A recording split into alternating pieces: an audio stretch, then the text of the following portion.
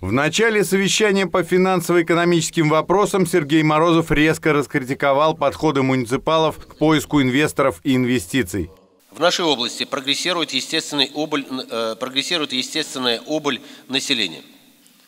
Только за 2018 год наш регион потерял более 8 тысяч человек. И эта цифра далеко не самая высокая. В 90-е годы, в начале 2000-х годов, эта цифра была в разы больше, ну не в разы, а в несколько, на, на несколько десятков процентов э, больше. Но за последние 7 лет это самая высокая цифра.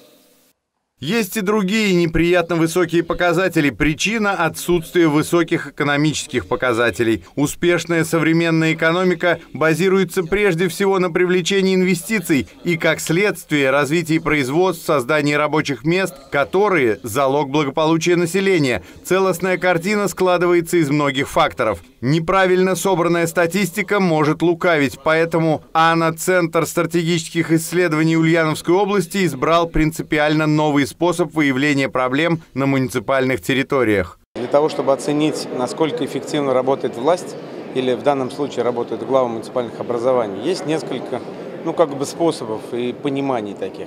Ну, вот как развивается экономика, как э, развивается предпринимательство. Это, конечно, очень важная вещь.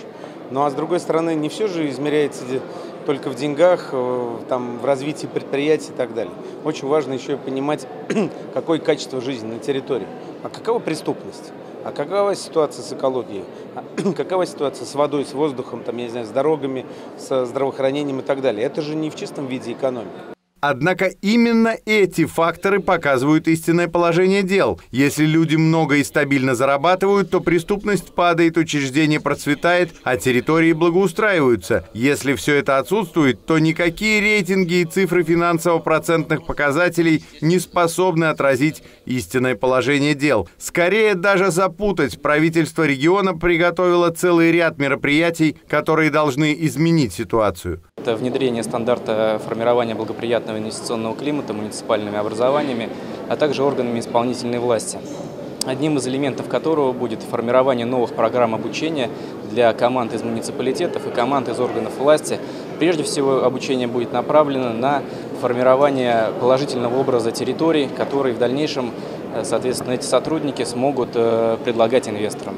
Губернатор считает, что любое действие власти или производственника, начальника любого уровня, должно быть направлено не на призрачное понятие о развитии, а на улучшение благосостояния и качества жизни конкретной группы людей, будь то рабочие завода или жители муниципального образования. Именно на это направлены национальные проекты. Безопасные и качественные дороги, образование, здравоохранение, экономика, жилье и городская среда – все прочее нужно не само по себе, а только в соответствии соотнесении с положительными результатами, которые они несут жителям страны и региона. Павел Половов, Александр Кудряшов, Новости Улправды ТВ.